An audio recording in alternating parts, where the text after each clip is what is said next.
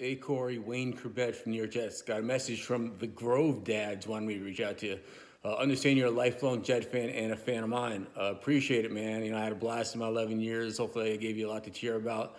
Uh, tell me that you are a Jets fan living in Miami. Uh, tough one.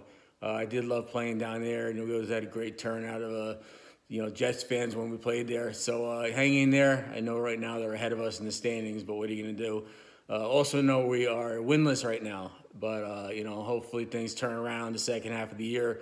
But uh, the future does look bright uh, next year with a lot of salary cap money and a lot of draft picks and a good young core this year. So hang in there, man.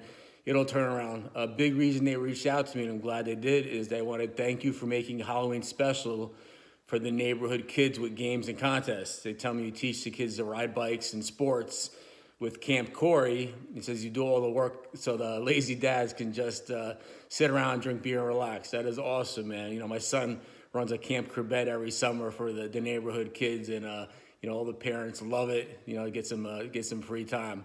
Uh, tell me to call you Corey 305 Home Schwartz.